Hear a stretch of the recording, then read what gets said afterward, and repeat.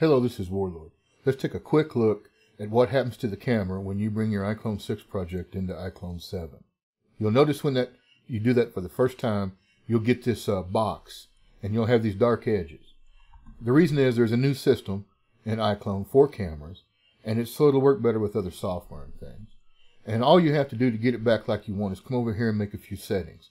If you don't see your, your camera over here, then click on your camera button and then just come over here and set these both on horizontal. At least that's what I do. Now, to match the focal length, I usually hit 80 because that's pretty close for me. And this is pretty much where I, I leave mine when I'm bringing them back in to uh, iClone 7 from iClone 6.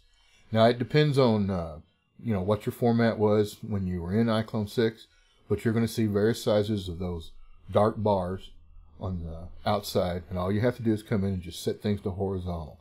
And you can come in here and play with your focal length to get it just like you want anyway.